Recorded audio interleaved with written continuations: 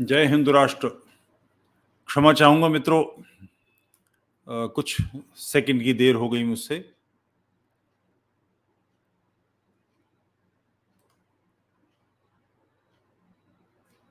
अभी बस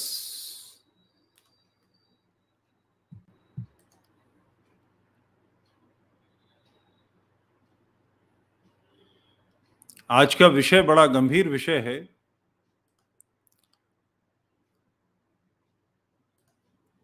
एक अंतर्राष्ट्रीय जगत में बड़े पैमाने पर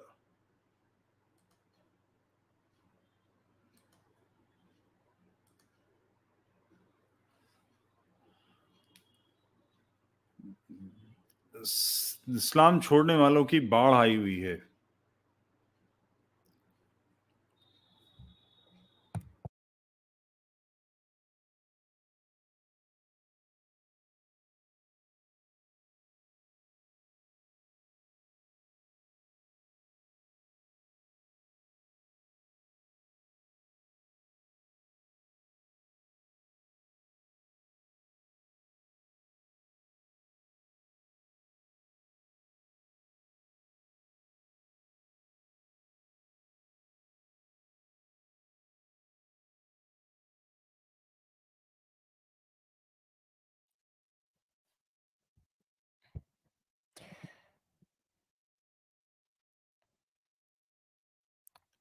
जी अ, आपकी आवाज़ जो है क आ नहीं रही है। आपने शायद अपनी आवाज़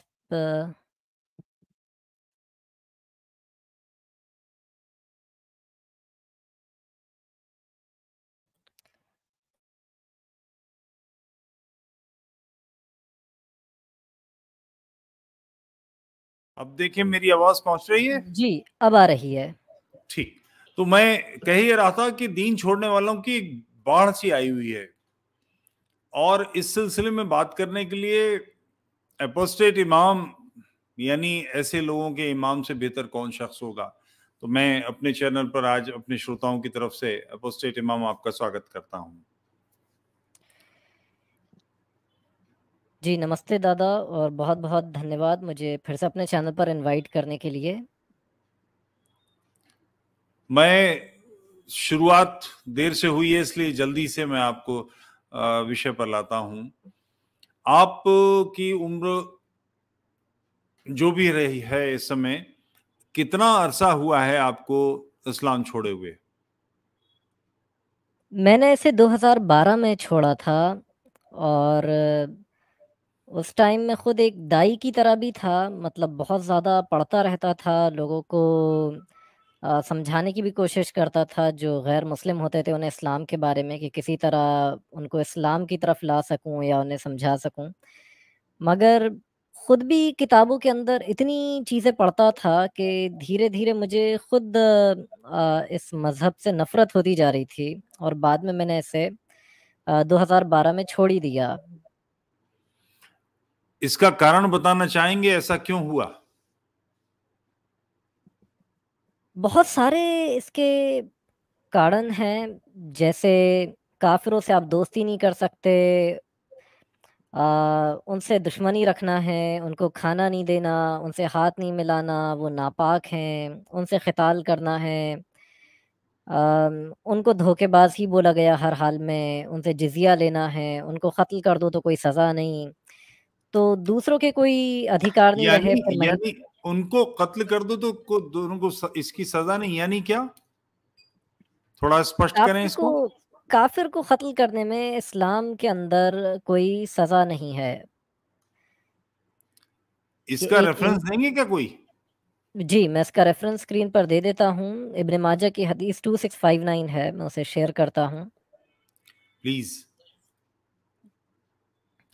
ये जो है सुनन इब्न माजा की हदीस 2659 है कि अमर बिन शोहेब जो हैं वो अपने बाप से और उनके बाप जो हैं अपने बाप से रिवायत करते हैं कि मोहम्मद ने कहा कि एक मुसलमान को कत्ल नहीं किया जाएगा इसके बदले में कि उसने किसी काफिर को कत्ल करा है। अच्छा कसास उस पर वाजिब नहीं, नहीं होता। उस पर नहीं लिया जा सकता। फिर उसके बाद बहुत सारी ऐसी हदीसें कि मोहम्मद ने कहा कि अगर कोई ईमान वाला अगर किसी काफिर को कत्ल कर देता है तो ये दोनों जहन्नम में एक साथ नहीं होंगे। मतलब ये दोनों एक साथ जहन्नम में नहीं जाएँगे। मतलब एक जन्नत ये यानी ईमान वाला जो है। ये दोनों एक साथ जहन्नम में नहीं होंगे। और बहुत सारी ऐसी बातें हैं जो इस मज़हब में हज़म नहीं होंगी। जैसे मिसाल के तौर पे दूसरों के मज़हबों को गाली देना। जैसे एक चीज़ मैं दिखाना चाहूँगा कि ये इमाम कसीर जो हैं जिन्होंने तफसीर अपने कसीर लिखी उनकी किताब है अलबिदाया वन नहाया। तो उसके अंदर बड़ा अजीब सा वो किस्से लिखते हैं और इनकी जो कुरान पे जो कमेंट्री है तफसीर जो है सबसे ऑथेंटिक और सबसे पॉपुलर कमेंट्री मानी जाती है तफसीर अबन कसीर। तो वो लिखते हैं तफसीर अबन कसीर के आ, 665 हिजरी के अंदर एक आदमी था दैर अबू सलामा नाम का जो बसरा में रहता था। और वो कुछ भी करने की सोचता तो उसे कर लेता यानी घबराने वाला वो व्यक्ति नहीं था। उसके पास सिवाक थी जिसे मिसवाक भी कहते हैं जो गैर मुस्लिमों कैसे समझाऊं दांत साफ़ करने के लिए दतौन, दतौन। हाँ दतून। तो वो उसके पास थी और वो कहता है कि अल्लाह की कसम इस दतून को, इस मिसवाक को, इस सिवाक को कहीं इस्तेमाल नहीं करता हूँ, सिवाय अपने पीछे के हिस्से के। मतलब इसका और कोई इस्तेमाल नहीं है इसका, कि वो ये कह रहा था कि वो इसे अपने पीछे डाल लेता है। ऐसी बेहुदा चीज़ अपने कसीर ने लिखी तो उसने सिवाक ली और अपने पीछे उसने उसे डाल लिया। यहाँ तक कि उसने नौ महीने तक वो उसको डालता रहा अपने पीछे तो उसके एक मर्द होने के बावजूद भी उसके एक बच्चा पैदा हो गया जो चूहे की तरह दिखता था जिसकी चार टांगे थी एक लम्हा सुबहान अल्लाह सुबहान अल्लाह यहाँ दाद देने दीजिए मुझे अल्लाह की बरकत वाह वाह वाह क्या बात है। तो उसके एक बच्चा हो गया जो चूहे की तरह दिखता था उसके चार टांगे भी थी और उसका सर जो था वो एक मछली की तरह था।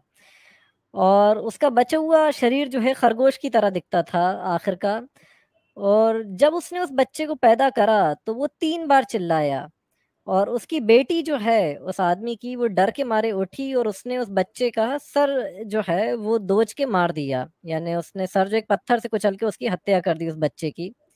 और वो आदमी जो है, दो दिन तक ज़िंदा रहा उस बच्चे को पैदा करने के बाद और तीसरे दिन वो भी मर गया। और वो कहता था कि इस मखलूक ने इस प्राणी ने मेरी जान ले ली और मेरे पीछे के हिस्से को फाड़ दिया। यानी पैदा तो अब ये कैसे हुआ होगा? तो मतलब आदमी के बच्चा हुआ है तो मतलब ये पीछे से निकला है, कहा इसने पीछे के मेरे हिस्से को फाड़ दिया। और लोग जो उस इलाके के थे, बसरा के, उन्होंने उसे देखा। उस आदमी को भी और उस बच्चे को भी, किसी ने उस बच्चे को जीते जी देखा था, जब वो पैदा हुआ था, किसी ने उसे मरने के बाद देखा। तो इस तरह की चीज़ें जो हैं, वो हज़म नहीं होती कि ये क्या अजीब बात है कि आदमी बच्चे पैदा कर रहा है या दूसरे के देवी देवताओं को गालियाँ देना। जैसे तारीख तबरी का स्कैन है ऑक्सफोर्ड यूनिवर्सिटी का तो इसका volume eight page seventy six जो है, इसमें मिलता है कि अबू बकर ने गाली दी कि जा, जाके लात की शर्मगाह को चूस ले, कि जैसा कि लिखा है कि उर्वा जो था उसने कहा कि मैं जाके मोहम्मद से बात करता हूँ और उससे सुलह करने की कोशिश करता हूँ। और मोहम्मद ने बुदेल नाम के एक सहाबी से बात करी थी और तभी उर्वा आ गए। उर्वा आके कहते हैं कि, मोहम्मद, क्या कभी तुमने अरबों में कोई ऐसा व्यक्ति देखा है जिसने अपनी ही नस्ल को बर्बाद कर दिया हो, अपने ही लोगों को ख़त्म कर दिया हो, अपने ही कबीले को मिटाने पर वो तुला हो? कि देख लो, अगर तुम हम पर हावी हो गए, हम पर गालिब आ गए तो ठीक है, मगर अगर हम तुम पर गालिब आ गए तो तुम और तुम्हारे साथी तो भाग जाएँगे और तुम्हें अकेला छोड़ देंगे। इस पर अबू बकर जो है, वो गुस्से से कहता है कि जा, जाके अपने, अपनी देवी जो है, जंग की देवी लात, उसकी जाके शर्मगाह को चूस ले। जो सक, जो सकीफ जो है, इलाका, वहाँ के लोग उसे पूजा करते थे। कि तुझे लगता है कि हम मोहम्मद को छोड़ के भाग जाएँगे और उसे अकेला छोड़ देंगे? तो उर्वा कहता है कि आखिर ये कौन है? तो लोग कहते हैं कि अबू बकर है। तो उर्वा कहता है कि उस रब की कसम जिसके हाथ में मेरी जान है, कि मैं इसको जवाब देता अगर इसका मुझ पर एहसान ना होता। अब एहसान क्या था? वो फुटनोट पे ही बताया है कि कि एहसान ये था कि उर्वा उर्वा बिन मसूद जो था उसका भतीजा मुगीरा बिन शोबा जो था, उसने किसी की हत्या कर दी थी, किसी की जान ले ली थी। तो अबू बकर ने उसको बचा लिया था, उसका ब्लड मनी जो है उसके किसास के बदले रकम दे दी थी और उसकी जान बचा ली थी। तो उर्वा उसके लिए कह रहा है कि अगर मेरा ये एहसान नहीं होता मेरे ऊपर इस आदमी का एहसान नहीं होता तो मैं इसे पलट के जवाब देता। तो दूसरी की देवी का इस तरह वो करना और ये बात सीरत इब्न हिशाम में, जिसे सीरत इब्न साग भी कहते हैं, ये ऑक्सफोर्ड यूनिवर्सिटी का ही ट्रांसलेशन है, द लाइफ ऑफ़ मोहम्मद के नाम से। उसका सफ़ा 502 पेज नंबर 502 उस पर भी यही आता है और यहाँ अबू बकर ने शर्मगाह की जगह बोला है कि जाके उसकी जो छाती है उसको चूस ले। तो दूसरे की देवी देवता जो हैं, और ये हदीस बुखारी में भी आई है, मगर उसमें सिर्फ़ तर्जमे में ये कर दिया जाता है कि अबू बकर ने बुरा भला बोला अबू बकर ने बुरा भला बोला उर्वा को। क्या बुरा भला बोला, क्या बोला उन्होंने, ये बताते ही नहीं, ट्रांसलेशन में वो चीज़ मिलती ही नहीं। तो दूसरे के देवी देवताओं को गाली देना, बच्चा पैदा हो जाना, जानवर भी बातें करते थे मोहम्मद के समय में कि बुखारी में आता है और सही मुस्लिम में कि मोहम्मद एक बार खुतबा दे रहे थे और कहते हैं कि एक आदमी गाय के ऊपर सफ़र कर रहा था, सवारी कर रहा था तो गाय पलट के बोल उठी कि अल्लाह ने मुझे इसलिए नहीं बनाया, बल्कि उसने तो मुझे इसलिए बनाया है कि मुझसे फ़सलें जोती जाएँ। सहाबा कहते हैं सुबहान अल्लाह, गाय बातें भी करती है। मोहम्मद कहते हैं कि मैं, अबू बकर और उमर तीनों जो हैं इस किस्से पर, इस वाक़े पर ईमान रखते हैं। यानी ईमान का हिस्सा हो गया। ये नहीं कि कोई मुस्लिम कहे कि हम इसे नहीं मानते तो वो जिस चीज़ पर मोहम्मद कह रहा है कि वो ईमान रखता है, उस पर ये ईमान नहीं रखें या तो एक इनकी मनमानी होगी। और बुखारी और मुस्लिम में किस्सा आया है और बुखारी में और भी जगह ये आया है। तो फिर मोहम्मद आगे कहते हैं कि इसी तरह एक आदमी अपनी भेड़ों को चरा रहा था। तभी एक झाड़ियों में एक भेड़िया आया और उसने एक भेड़ को पकड़ लिया और लेके भागने लगा। तो चरवाहा जो था, उसने अपनी भेड़ को बचा लिया किसी तरह उस भेड़िए से। तो भेड़िया बातें करने लगा, वो बोलने लगा कि आज तो तुमने बचा लिया इस भेड़ को मुझसे, उस दिन कौन इसे मुझसे बचाएगा? वो दिन जो सिर्फ़ दरिंदों का दिन होगा और मेरे सिवा कोई इसका चरवाहा नहीं होगा। सहाबा कहते हैं कि सुबहान अल्लाह भेड़िया भी बातें करता है। बुखारी के टू थ्री टू फोर पे जब ये हदीस खोलेंगे तो उसमें ये अल्फाज मिलेंगे कि साहबा कहते हैं सुबहान अल्लाह भेड़िया भी बातें करता है। मोहम्मद कहते हैं कि मैं और अबू बकर और उमर तीनों इस किस्से पर ईमान रखते हैं इस वाक्य पर। और अबू बकर और उमर रावी कहता है कि उस वक्त मौजूद नहीं थे जब मोहम्मद ये किस्सा सुना रहे थे। और ये हदीस बुखारी में भी आई है, इमाम बुखारी ने बुखारी से भी पहले अदब अल मुफरद एक किताब लिखी थी, उसमें भी 902 नंबर पर यह हदीस लाए हैं और जामिया त्रमीज़ी में भी ये हदीस है कि भेड़िया जहाँ बात कर रहा था।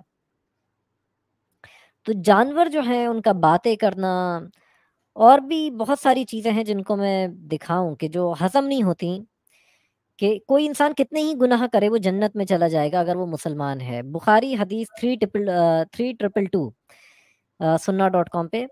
कि अबूजर गफ़ारी कहते हैं कि मोहम्मद ने मोहम्मद ने कहा कि जिब्रील ने मुझे बताया कि आप, कि कोई भी शख्स अगर इस तरह मर जाए कि अगर वो एक अल्लाह को मानता हो तो वो जन्नत में ज़रूर जाएगा। मोहम्मद कहते हैं कि मैंने पूछा कि अगर उसने जिना करा हो और चोरी करी हो तब भी? तो कहा हाँ नबी, तब भी। तो कोई चोरी करे जिना करे कुछ भी करे अगर वो एक अल्लाह को मान रहा है तो वो जन्नती है अब बुखारी में फाइव फोर फाइव आप इस विषय पर और प्रकाश डालें कृपया। इस पे बहुत सारी कुरान में भी आता है कि अगर कोई ये कह दे कि एक अल्लाह है उसके सिवा कोई रब नहीं कोई पूजने के योग्य नहीं तो वो उसी वक्त जन्नती हो गया। और अगर कोई एक अल्लाह को नहीं मानता है तो वो हमेशा के लिए नर्क में जाएगा जहन्नम में जाएगा। भले वो कितनी नेकियाँ कर ले और मुसलमान कितनी गुनाह कर लें, वो तब भी जन्नती हैं अगर वो एक अल्लाह को मान रहे हैं यहाँ तक कि उनके जो पाप होंगे भले वो पहाड़ों जितनी क्यों ना पाप कर लें वो किसी काफिर के सर दे दिए जाएँगे। कि कोई काफिर जो है वो उन पापों की सजा नर्क में भुगतेगा यानी उसको तो नर्क में अपने पापों की सजा भुगतनी पड़ेगी और हमेशा रहेगा मगर उसको और ज़्यादा सज़ा दी जाएगी क्योंकि मुसलमान के पाप भी उसके साथ डाल दिए जाएँगे। और तो आ, काफिरों का एक इस तरह का एक मुकाम दे दिया है कि बुखारी में मुस्लिम में एक नहीं पंद्रह बीस जगह ये हदीस आई है कि जब कोई मुसलमान क़यामत के दिन अल्लाह के सामने पेश होगा तो उसके गुनाह इतने होंगे कि जैसे पहाड़ मगर उसके सारे गुनाह जो है अल्लाह माफ़ कर देगा और कहेगा कि किसी ईसाई या यहूदी को इसके गुनाह दे दो। ये जो है उसकी सज़ा जो जहन्नम में भुगते। और उन हदीसों को भी टाइम रहता है तो हम देखते हैं। मैंने शायद उन्हें इधर खोल के रखा था या अगर वो नहीं भी हैं तो भी मैं उसे आ, खोल देता हूँ कि काफिर तो पहले बदतरीन मखलूक हैं। ये भी आता है कि सूरह अल-बय्यिना में सूरह नंबर 98 उसकी आयत 6 में कि यकीनन उन्होंने जिन्होंने कुफ्र करा है जो मुशरक हैं वो जहन्नम की आग में होंगे और वो उसमें हमेशा हमेशा रहेंगे और वो सबसे बदतरीन मखलूक हैं। तो काफिर एक बदतरीन मखलूक है और फिर उसके बाद आ, काफिर जब मरेगा तो उसकी रूह से बदबू आएगी और फरिश्ते कहेंगे कि एक बड़ी नापाक रूह आई है इसे जहन्नम की तरफ़ ले जाओ। काफिर को सलाम करना हराम है उसे आप सलाम नहीं कर सकते हो। काफिर को ऊपर वाला चूहा बना देता है उन्हें कत्ल कर दो तो कोई सज़ा नहीं। काफिरों के साथ रहना नहीं है। काफिर नापाक है सूरत तौबा के मुताबिक उसकी आयत अट्ठाईस। ये हदीस सही मुस्लिम की कि अगर कोई मुसलमान काफिर को मार दे तो वो आ, उसको कत्ल करने वाला जो ईमान वाला है वो उसके साथ जहन्नम में नहीं होगा। यानी वो जन्नत में जाएगा उसके साथ। काफिर उसे दोस्ती नहीं रख सकते हैं, भली वो आपके बाप हो या भाई हो, दोस्ती रखोगे तो उन्हीं में से हो। जो काफिर उसे दोस्ती रखेगा, सूरह निसा के हिसाब से मुनाफिक है, वो जहन्नम के सबसे निचले दर्जे की आग में होगा।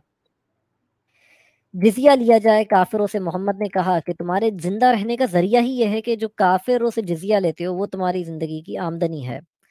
काफिरों से दोस्ती नहीं रखना किसी भी तरह और ईसा आके तमाम काफिरों को मार देंगे, सबको कत्ल कर देंगे आके, उनसे जिजिया भी नहीं लेंगे। अब कहेंगे, जिजिया भी नहीं लेना, सभी को कत्ल करो। और उन हदीसों पे आऊँ तो ये वो हदीस है कि सही मुस्लिम की सात हज़ार बारह, सुन्ना डॉट कॉम पे two seven six seven B. और ये हदीस सही मुस्लिम में सात हज़ार ग्यारह भी आई है, two seven six seven A, कि मोहम्मद ने कहा कि या इसका लंबा वर्जन देख लें कि सही मुस्लिम का सात हज़ार चौदह, कि मोहम्मद ने कहा कि मेरे मानने वाले ऐसे होंगे जो पहाड़ों जितने गुनाह उठा के लाएँगे कायामत के दिन, और अल्लाह सब गुना माफ़ कर देगा और उसकी जगह कहेगा कि कोई यहूदी या ईसाइयों में से कोई जो है उसको इसके गुनाह दे दिए जाए और वो उनकी सज़ा जो है जहन्नम में भुगते। तो ये हदीस कई जगह आई कि जब क़यामत का दिन होगा तो हर मुसलमान की जगह किसी ईसाई या किसी यहूदी जो है, उसको जहन्नम में डाल दिया जाएगा, उसके गुनाहों के बदले। तो कोई अगर एक अल्लाह को माने तो जन्नती है कितनी गुनाह कर ले, और उसके कोई गुनाह थे भी तो वो काफिरों के सर डाल दिए जाएँगे, ख़ास तौर से यहूदी या ईसाइयों के सर पे। फिर इतना प्यार है इस मज़हब में कि बुखारी में अगर हम देखें फाइव फोर फाइव सिक्स पर आता है कि मोहम्मद ने कहा जब तुम में से कोई खाना खाता है तो अपने हाथों को या तो चाटे वो या किसी दूसरे से चटवाया करे अगर खुद नहीं चाट सकता तो। तो इस तरह की बात जो है तोबा तोबा। एक वाकया यहाँ मैं आपसे आपको याद दिलाता चलूँ आपके ध्यान में तो खैर हो गई कि मक्का से जब मदीना हिजरत हुई थी साद ने अपनी बीवी शेयर की थी किसी के साथ। जी। उस पर कुछ रोशनी डालना चाहेंगे? इस मोहब्बत के और इस एक्स्ट्रा जो एक्स्ट्रा लार्ज वर्जन है, उस पर।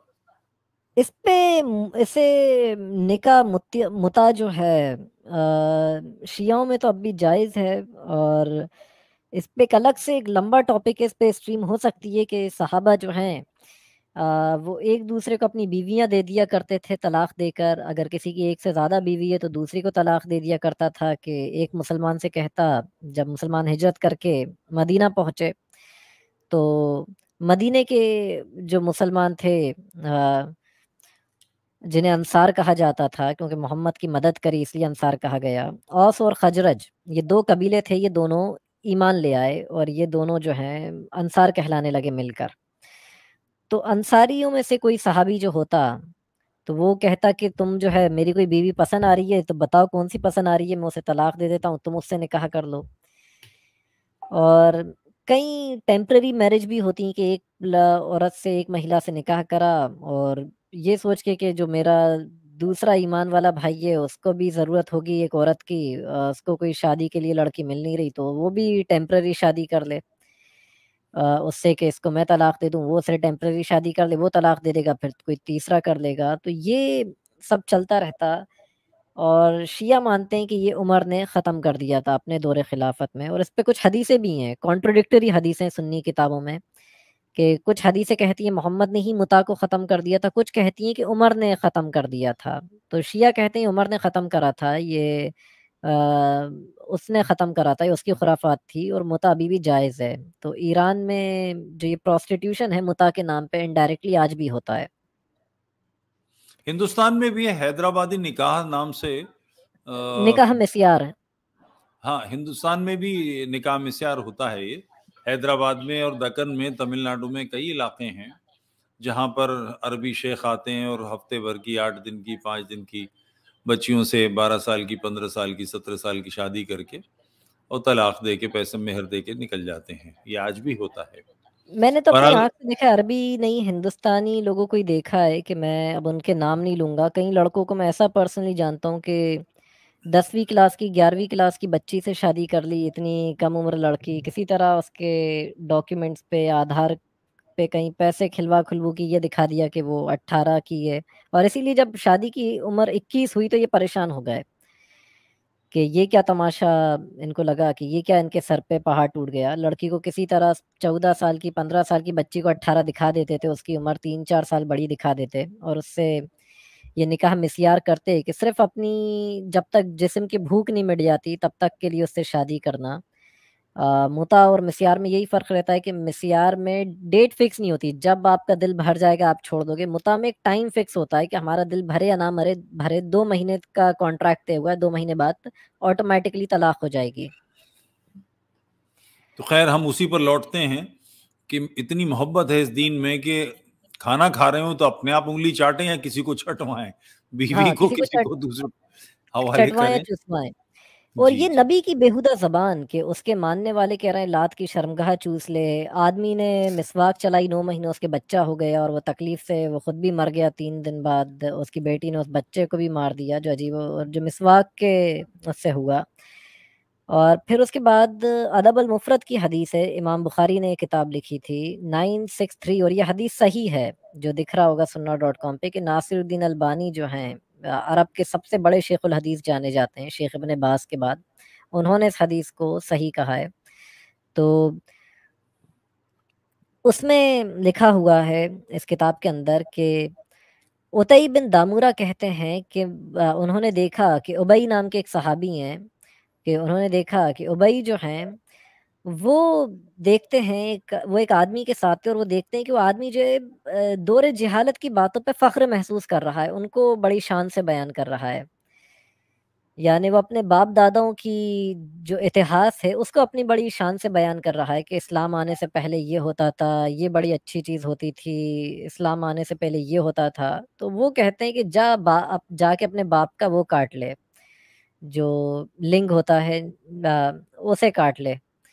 और उन्होंने ये चीज़ ख़ास तौर पर बोली ये मज़ाक में या मेटाफोर नहीं था ये कोई तमसील जिसे कहते हैं मतलब इसका यही मतलब था। तो उनके सहाबी जो हैं आसपास के वो उन्हें देखने लगते हैं और कहते हैं कि शायद आप नाराज़ हो गए इसकी बात पे आपको ये बात अच्छी नहीं लगी। आ, तो उन्होंने कहा कि यकीनन मैंने अल्लाह के नबी जो हैं, उनको भी ये फरमाते हुए सुना था कि अगर कोई दौरे जहालत अपने बाप दादाओं की, अपने कबीले की कभी शान बयान करे, उस पर फ़ख्र महसूस करे, जहालत के दौर में जैसा लोग करते थे तो तुम उससे कहो कि जा, जाके अपने बाप की शर्मगाह जो है उसको काट लो। तो ये एक नबी की ज़बानी की मोहम्मद ने कहा। और इस पे फतवा भी है ये सऊदी गवर्नमेंट का इस्लाम का डॉट इन्फो पे फतवा नंबर है one two one eight two three. और इसको सेवेंटी फाइव थाउज़ेंड लोगों ने देखा और दो हज़ार पंद्रह में से उन्नीस जून को पब्लिश करा गया था। कि किसी ने सवाल पूछा कि क्या ऐसा है कि मोहम्मद ने कहा हो कि अपने जाके बाप की शर्मगाह को काट ले, इस हदीस की क्या हैसियत है, ये क्या ऐसी कोई हदीस है? तो पूरा और क्या इस तरह की ज़बान भी नबी या उनके साहबा ने इस्तेमाल करी है कि जाके लात की शर्मगाह को चूस लो या काट लो? या उसकी छाती को चूस लो। तो ये भी क्या ऐसी तरह की बात करी है? तो अब उन्होंने लंबा चौड़ा पहले तो फालतू बात करी कि मोहम्मद का किरदार हमारे लिए बेहतरीन नमूना है। मोहम्मद कोई ऐसी चीज़ नहीं कर सकते जो गलत हो या अखलाकियात के ख़िलाफ़ हो या तमीज़ और तहज़ीब के ख़िलाफ़ हो। अगर ऐसी कोई चीज़ हो जाती है तो उसके पीछे कोई वजह होगी, बिला वजह नहीं करी होगी। और वो इंसान जो कहता हो कि हर दिन अपने ऊपर खुशबू लगाओ, नीचे के बाल बनाओ, वो इतना तमीज़ तहज़ीब वाला इंसान वो इस तरह की क्या बात कोई कर सकता है? तो अगर करता है तो हमें गहराई से समझना। ये बातें करते हुए इन्होंने लंबा-चौड़ा ऐसी पब्लिक का टाइम वेस्ट करा और फिर जाके ये काम पर आए। कि इन्होंने कहा कि हाँ, इस तरह की हदीस है कि अगर और कि उबई बिन काब जो हैं वो देखते हैं कि एक आदमी जो है, बड़े बुरी तरीके से अपने बाप-दादा या अपने कबीले जो है, उसकी शान को वो बयान कर रहा था। तो उन्होंने कहा, जा जाके अपने बाप के नीचे का जो अंग है, उसे काट ले। और उन्होंने मेटाफॉर यूज़ नहीं करा। यानी बात इसका यही मतलब था कि सही में काट लो। लोग देखने लगे और उनसे पूछा तो उन्होंने कहा कि, मुझे पता है तुम लोग क्या सोच रहे हो कि ये मैं क्या बात कर रहा हूँ, मगर मैंने मोहम्मद को भी ये कहते हुए सुना था कि अगर कोई अपने कबीले की, अपने बाप दादाओं की शान बयान करे दौरे जहालत की बातें अगर बयान करे तो उससे कहना कि जा, जाके अपने बाप की शर्मगाह को काट लो। और मोहम्मद ने भी मेटाफॉर यूज़ नहीं करा था मतलब मोहम्मद का भी यही मतलब था। हदीस मुस्नद इमाम अहमद बिन हम्बल, बुक 35 हदीस 157 और ये हदीस, इन्होंने कहा हसन है। मुस्नद के अंदर मगर हमने देख लिया था कि हदीस सही भी है नासिरुद्दीन अलबानी ने इसे मुस्नद इमाम अहमद बिन हंबल में जहाँ-जहाँ आई है हदीस हसन बोली है मगर अदब अल में से सही बोल दिया है इमाम बुखारी की ही एक किताब में है। एक सवाल पूछना चाहूँगा मैं आपसे उपस्थित। जी। क्या मुसलमान जो दीन के पढ़ने लिखने वाले हैं, उलमा हैं, उन तक ये बात पूरी तरह से है? वो समझते हैं हाँ। बातों जानकारी है उन्हें? उन्हें पता है। यहाँ तक कि ये जो हैं अ, इंटरनेट पे अ, एक अली दावा नाम का एक है तो वेस्ट में बहुत मशहूर है और वो सबसे बहस करता रहता है। बहस क्या वो गालियाँ देने पर आ जाता है, इतना एक पागल किस्म का एक मिशनरी है वो।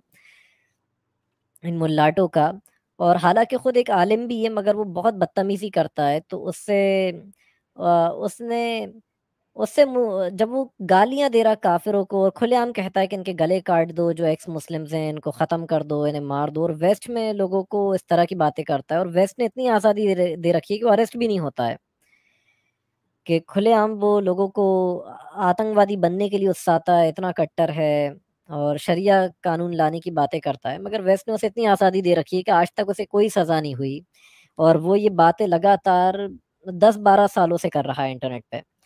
तो उसने ट्वी मुफ्ती फ़ज़ल हमदर्द जो हैं नहीं अ, मुफ्ती यासिर नदीम वाजिदी हैं कोई, तो उन्होंने उससे कहा कि आप तमीज़ से बात करा करें, आप एक दाई हैं, आप लोगों को इस्लाम की तरफ़ बुला रहे हैं और आप सबको गालियाँ देते रहते हैं। तो उसने उन्हीं को सुना दिया कि मोहम्मद ने कहा कि ये काट लो अपने बाप का और अबू बकर ने कहा कि शर्मगाह को चूस लो या लात की छाती को चूस लो, तो क्या वो भी गलत था? उसे भी तुम बदतमीज़ी बोलोगे?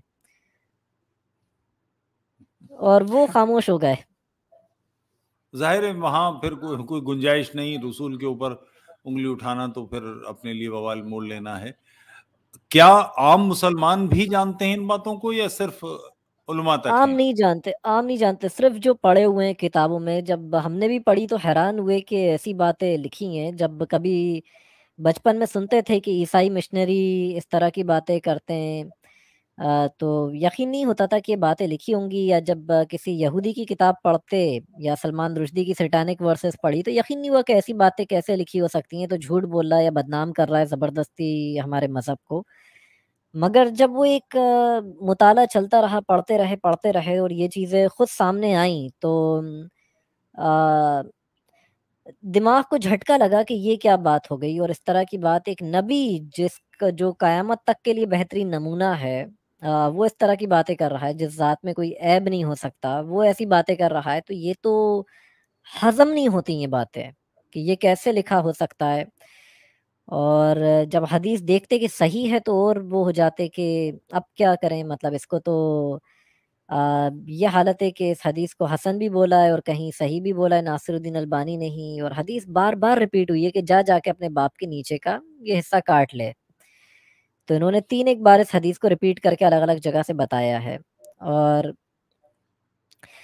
इन्होंने ये, ये भी कहा जी। जी कही कही कही आप कही कि लात की शर्मगाह चूस ले, इसको भी इन्होंने कहा कि वो तो अबू बकर से गुस्से में निकल गया और कहा कि सहाबा ने बोला तो उसके पीछे कोई मसलियात कोई हालात ऐसे रहते हैं कि उनके मुँह से ऐसी चीज़ें निकल गई तो हमें उस पर पकड़ नहीं करना चाहिए और हमें उन चीज़ों को नहीं दोहराना चाहिए। मतलब अजीब इन्होंने इस तरह की बात जो है वो कर दी। कि उन्होंने उस हदीस को भी दिखाया कि नबी के कभी कभी आप गलत ज़बान का इस्तेमाल कर सकते हो, अबू बकर ने भी करा है कि लात की शर्मगाह चाट ले कि हम मोहम्मद को छोड़ के भाग जाएँगे और उसे अकेला छोड़ देंगे। मैंने कहा कि कभी ऐसी ज़बान चल सकती है कि अगर जहाँ ज़रूरत हो या आपको इस तरह की ज़बान इस्तेमाल करना ही पड़ेगी। तो इस तरह इनडायरेक्टली गाली बखने को भी जायज़ कह दिया। साहबजादे, ये जानना बड़ा अफसोसनाक है कि आम मुसलमान इन बातों को नहीं जानता और वो ये समझता है कि अल्लाह का दीन है और वगैरह वगैरह। आप जैसे लोगों की ज़िम्मेदारी बहुत बड़ी हो जाती है कि इन सारी चीज़ों को बाहर करें, लोगों को पता लगना चाहिए। अगर लोगों को मालूम ही नहीं होगा तो वो तो पूरी ज़िंदगी एक ऐसे शराब के पीछे पड़े रहेंगे जो वाकई कुछ नहीं है। एक झूठ के पीछे अपनी ज़िंदगी बसर कर जाएँगे। आप लोगों की ज़िम्मेदारी बहुत बड़ी है। आप लोगों की तादाद बढ़े। एक्स मुस्लिम्स की तादाद बढ़े, इसके लिए आप क्या करते हैं? क्या क्या करना चाहते हैं?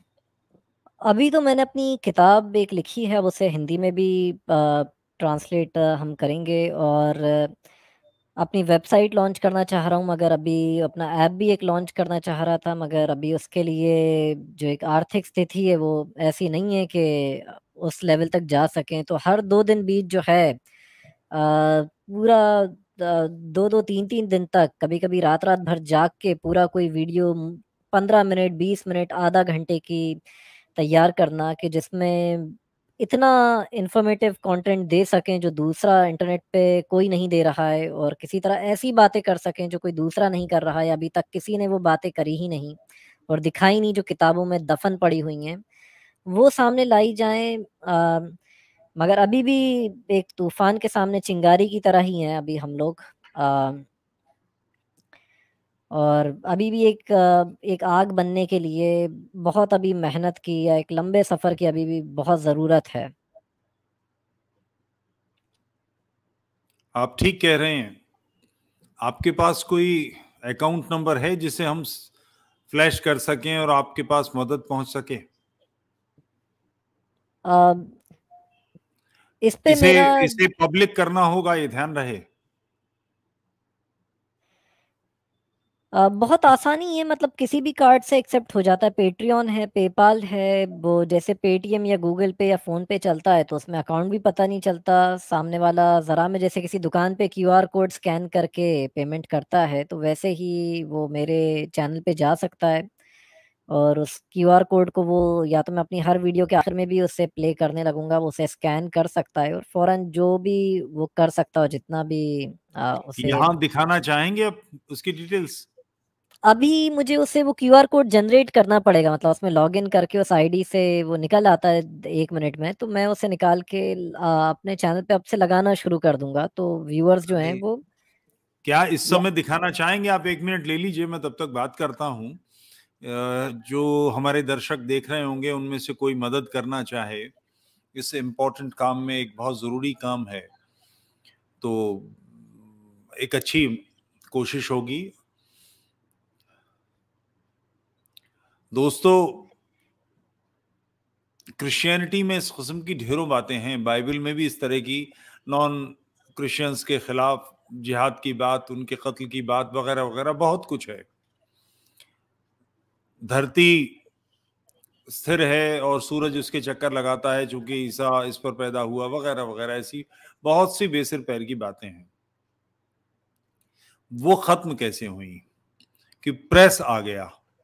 पहले कोई शख्स किसी से बात करता तो कोई क्या कर सकता था? दस, पाँच, पंद्रह लोगों से बात करना, बीस लोगों से बात करना, इससे बड़ी तो तादाद मुमकिन नहीं थी, लाउड स्पीकर नहीं थे। किताब आने से एक एक पूरा जलजला आ गया, एक भूकंप आ गया और ईसाइत की जड़ों में मट्ठा पहुँच गया। वही स्थिति आज इस्लाम की इंटरनेट के सामने है कि इंटरनेट की हवा ने अच्छे अच्छों के लवादे खोल दिए। तो इस काम को जो तेज़ी से कर रहे हैं और ये मामला, ये ध्यान रहे कि किसी एक्स मुस्लिम को बढ़ावा देने का नहीं है। ये मामला जिस भारत में हमने आँखें खोली हैं, जैसा भारत हमने देखा है, उससे बेहतर भारत बनाने की तैयारी करना है। अपनी औलादों के लिए अच्छी दुनिया छोड़ के जाना है। अपनी बहू के लिए, अपनी बेटी के लिए, अपनी पोती के लिए, अपने पोते के लिए एक ऐसी दुनिया छोड़ के जाना है जो अच्छी हो। तो इस सिलसिले में अपोस्टेट इमाम के चैनल की मदद कीजिए। मैंने लिंक शेयर करा है पेपाल का पेट्रियन का कोई भी बस उस पर क्लिक करेगा और उस पे दिखाई नहीं दे रहा? ये लाइव चैट में ही है। लाइव चैट में यहाँ शेयर नहीं कर सकते? मैं आपको प्राइवेट में भी मैं इसको दिखा देता हूँ स्क्रीन पर वैसे तो प्राइवेट नहीं पब्लिक में कोई तरीका। चलिए मैं मगर यहाँ देख नहीं पा रहा। ये बड़ा आसान है लोगों को सिर्फ़ इतना जो है टाइप करना है Patreon dot com slash apostate इमाम लाइव चैट में भी मैंने शेयर कर दिया और या तो वो टाइप कर सकते हैं PayPal dot com slash the apostate imam और उससे ये खुल जाएगा और वो उस पर जितना चाहे मुझे वो भेज सकते हैं। सेंड पे क्लिक करके वो अमाउंट डाल दें और वो अपने कार्ड से पे कर सकते हैं और वो उसी वक्त, उसी समय जो है वो मेरे अकाउंट में आ जाता है और ये पेपाल पे और पेट्रियन पे भेजने का जो है ये वो है या मेरा मेल मैंने उनको लाइव चैट में लोगों को दिया है, उससे भी कनेक्ट हो सकते हैं और उसके द्वारा भी आ, हमें सपोर्ट कर सकते हैं।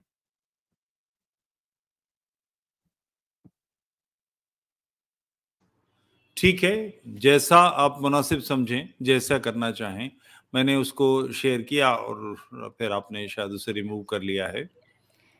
जो भी तरीका बेहतर है। अच्छा इस सिलसिले में अब एक मैं वाइंड अप कर रहा करने की तरफ़ आता हूँ। सऊदी अरब के प्रिंस ने हदीसों को रद्द करने की बात की है कि वो कहते हैं कि इफ़ेक्टिव नहीं है और उनको रद्द होना चाहिए। अमलेंदु मंडल जी, धन्यवाद आपका। आज जो भी यहाँ पर आएगा, मैं अपोस्टेट इमाम के पास भेज दूँगा। आप में से जो भी मित्र सहयोग करेंगे, वो इमाम साहब के पास पहुँच जाएगा। तो ईरान के सऊदी अरब के शाह ने जो युवराज हैं उन्होंने हदीसों को रद्द करने की बात कही है। आप इसको किस तरह से देखते हैं? नामुमकिन है क्योंकि कुरान को बिना हदीसों के समझा ही नहीं जा सकता है। आ, ये एक नामुमकिन सी कोशिश है और इसकी एक मिसाल जो है मैं आ, देना चाहूँगा। जैसे मैं स्क्रीन शेयर करता हूँ और एक मिसाल देने की कोशिश करता हूँ और थोड़ा मैं लोगों से कहूँगा कि वो अगर हेडफोन्स भी पहन लें तो अच्छा रहेगा क्योंकि तो सही बुखारी जो है हदीस थ्री फोर ज़ीरो फोर, तीन हज़ार चार सौ चार जो है सही बुखारी की हदीस है। और ये हदीस जो है, ये सही मुस्लिम में डबल थ्री नाइन बी पर भी आई है।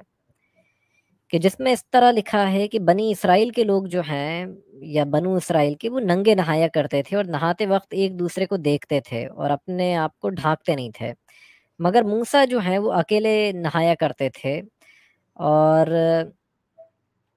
बनी इसराइल के लोग कहते हैं कि अल्लाह की कसम, मूसा हमारे साथ इसलिए नहीं नहाता है, क्यों कहते थे कि मूसा इसलिए हमारे साथ नहीं नहाता है, क्योंकि इसकी जो स्किन है, इसकी जो चमड़ी है, उसमें कोई बीमारी है।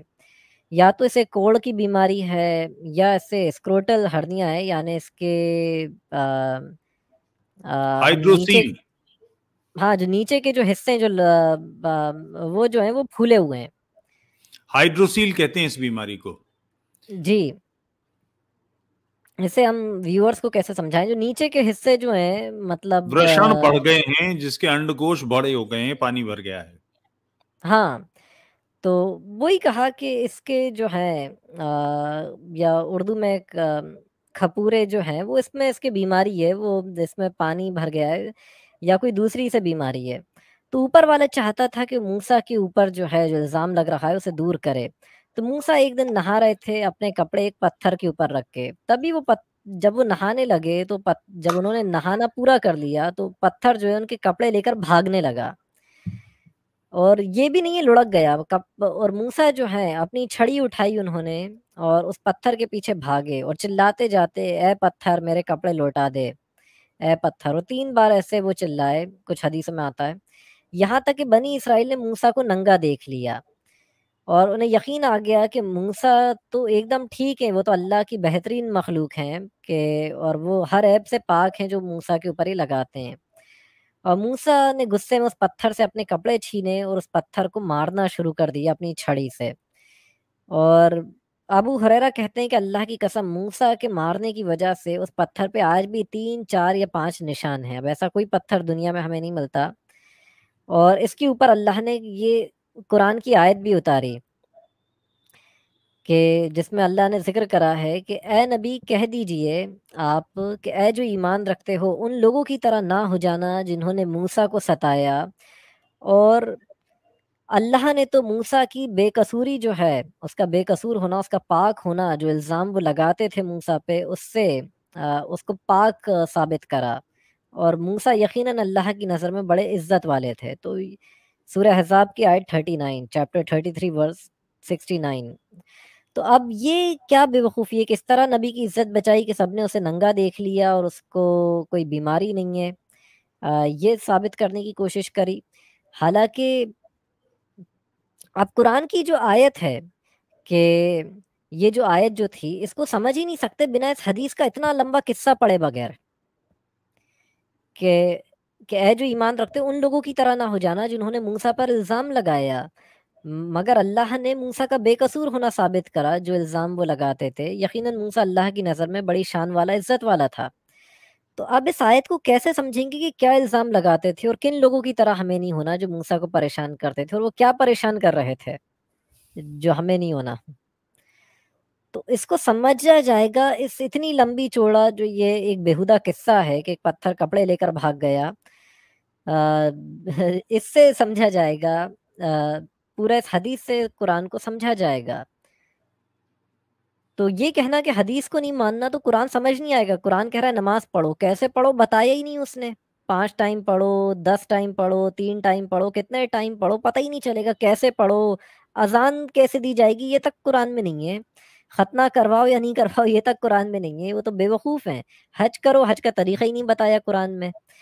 तो कुरान ने अब चोरी करने वाले के हाथ काट दो, कितना काटो यही नहीं बताया, हाथ पूरा काट दो, सिर्फ़ कलाई तक काट दो या कोहनी से अलग कर दो, कितना बताया ही नहीं तो वो तो हदीस ही समझना पड़ेगा ना, ये किस चोरी पर हाथ काटो और किस चोरी पर हाथ नहीं काटो, उससे बड़ी सजा दो। तो ये तो हदीस बताएँगी तो वो एक बेवकूफ़ों भरी बात है कि सिर्फ़ कुरान पे चल लेंगे। पूरे कुरान से कुछ भी नहीं मिलेगा। मोहम्मद की ज़िंदगी कुरान कह रहा है, बेहतरीन नमूना है। अब कौन सी आयत कब उतरी, कौन सी मक्की है, कौन सी मदनी है, कौन सी मनसूख हो गई मतलब किस आयत कब नहीं माना जाएगा? सब तो हदीस से या तारीख से पता चलेगा या सीरत से। और सभी एक दूसरे के मायने बदल देती हैं।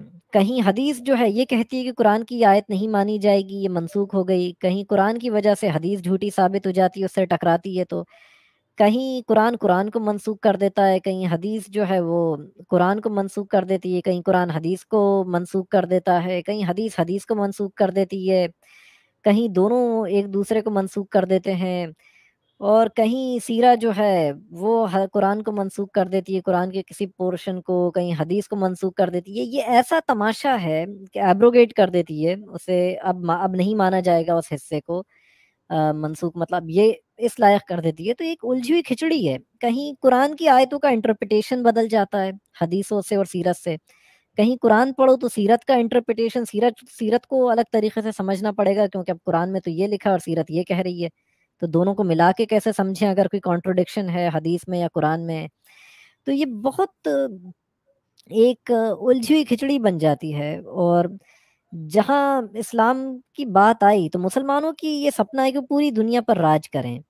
हालाँकि बुखारी पे एक हदीस है, हदीस फोर सिक्स वन, कि अबू हरेरा कहते हैं कि, मोहम्मद कहते हैं कि पिछली रात जो है एक जिन्नात आ गया जब मोहम्मद नमाज़ पढ़ रहे थे और नमाज़ में मोहम्मद को सताने लगा तो मोहम्मद ने उसे पकड़कर मस्जिद के खंबे से बाँध दिया। और जब उसे मस्जिद के खंबे से बाँध दिया तो मोहम्मद ने सोचा कि मैं इसे सुबह तक बाँध कर रखूँ ताकि लोग इसे देखें। मगर उनको सुलेमान नबी की दुआ याद आ गई जो कुरान में थी सूरा थर्टी एट आई थर्टी फाइव में कि, ए मेरे परवरदिगार, मुझे बख्श दे और ऐसी हुकूमत जो तूने मुझे दी है, ऐसी हुकूमत किसी और को ना देना मेरे बाद। तो जितनी बड़ी हुकूमत सुलेमान के पास थी, उतनी बड़ी किसी और के पास नहीं होगी। तो और ऊपर वाले ने दुआ कबूल भी कर ली फिर, कि हमने सुलेमान की दुआ सुन ली।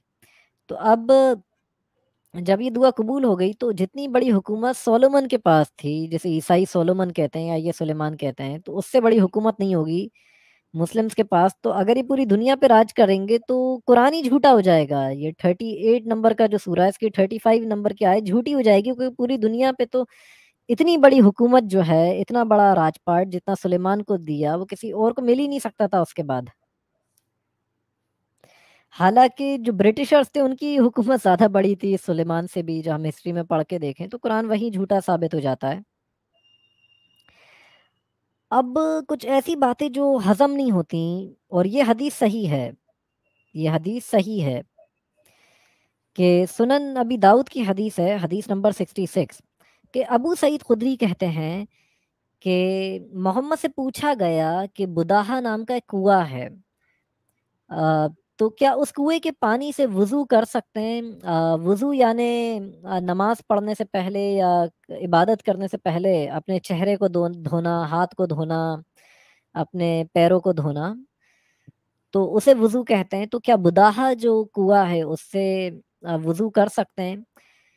जिसके अंदर औरतों के जो पीरियड्स के कपड़े हैं वो डाल दिए जाते हैं यानी मासी के कपड़े शायद मासी बोलते हैं उसे हिंदी में मासी के कपड़े डाल दिए जाते हैं। मासिक धर्म।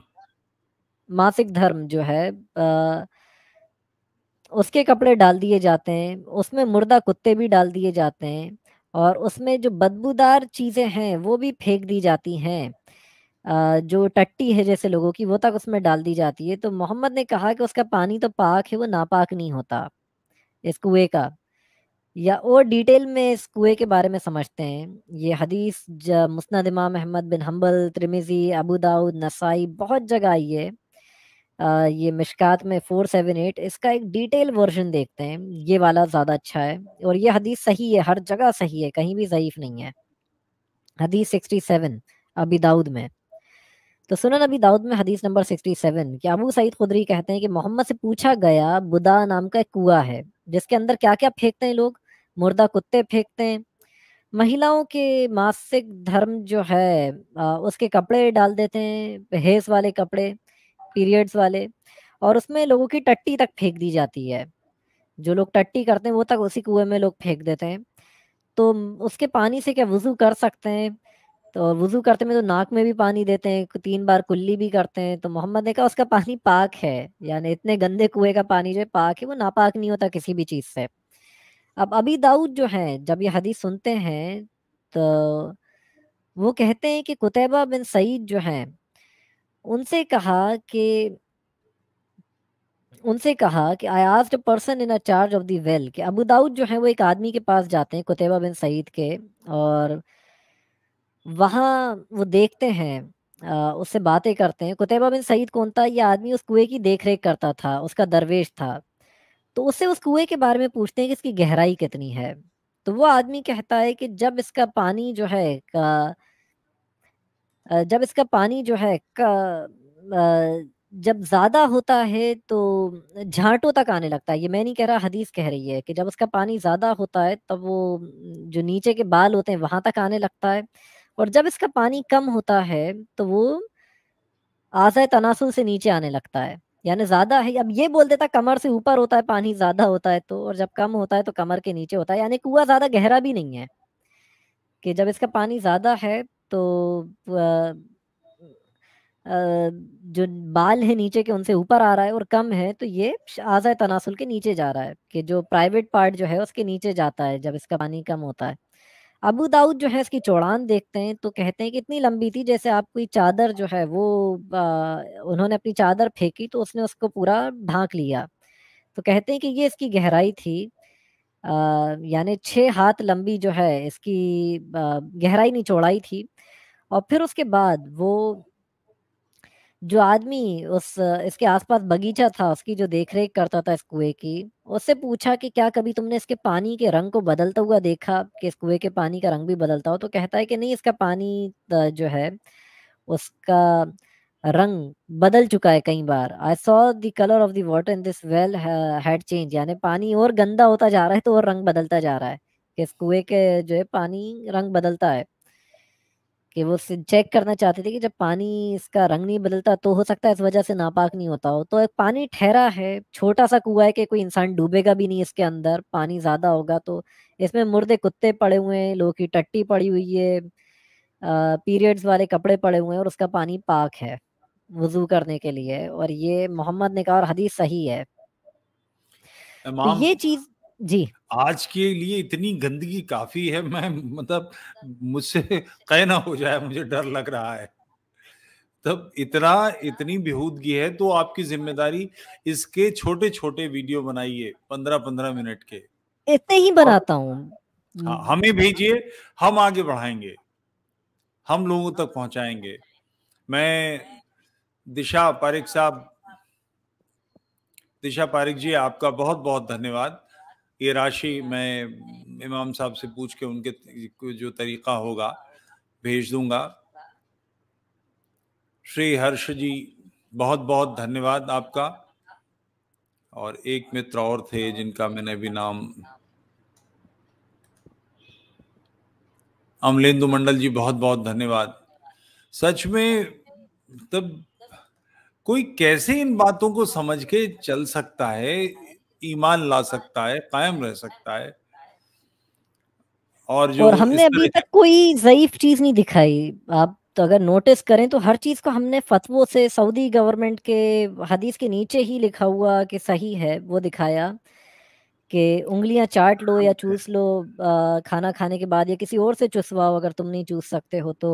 और बुखारी में आया कि हदीस थ्री थ्री टू ज़ीरो तीन हज़ार तीन सौ बीस के अबू हरेरा कहते हैं कि मोहम्मद ने कहा कि अगर किसी के पीने की किसी चीज़ के अंदर यानी दूध या पानी अगर हो उसके अंदर अगर मक्खी गिर जाए तो वो उस मक्खी को निकाले नहीं उसे अच्छे से डुबो दे।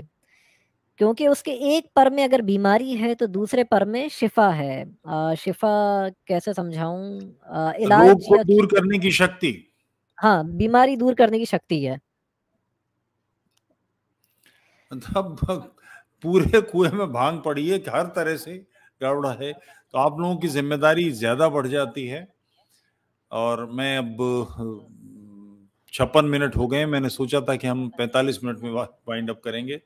मगर इतना इम्पोर्टेंट सब्जेक्ट और इतनी सलीके के साथ अपोजिट इमाम बयान कर रहे थे। मैं दर्शकों आप सबकी तरफ़ से इमाम साहब का धन्यवाद देता हूँ। मेरा प्रणाम स्वीकारें। आपकी आवाज़ जी, जी मैंने म्यूट कर दिया था। मुझे लगा आप स्ट्रीम बंद तो नहीं कर रहा है कि मैंने ज़्यादा टाइम ले लिया बंद कर रहा हूँ पैंतालीस मिनट ज़्यादा टाइम ले लिया। छप्पन मिनट हो गए ज़्यादा हो गए। वैसे मैं आधे घंटे से ज़्यादा ऊपर नहीं जाता मगर आपने सब्जेक्ट इतना बढ़िया चुना और इस सलीके से बात रखी। मैं आपसे फिर बात करूँगा। कल परसों में इसको फिर कंटिन्यू करेंगे। इसमें बहुत कुछ छूट गया मुझे लग रहा है कि इतनी चीज़ें दिखाने को थी बट हम अगली वीडियो में करेंगे कि कल परसों में लेते हैं इसको इसके सेकंड पार्ट करते हैं। क्योंकि कोई खाना खा के देख रहा होगा तो नहीं देख पाएगा और ज़्यादा। हाँ, इसीलिए कि मैं मैं खुद कै महसूस कर रहा हूँ। तो दर्शकों की तरफ़ से और यूट्यूब चैनल की तरफ़ से आपका बहुत बहुत धन्यवाद। प्रणाम। प्रणाम जय हिंद। जय हिंद।